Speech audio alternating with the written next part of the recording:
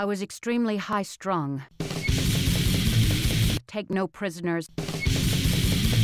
Extremely high energy. And so goal oriented that I think my normal personality disappeared. I became a real tyrannical kind of person, simply to keep myself from dealing with all the stuff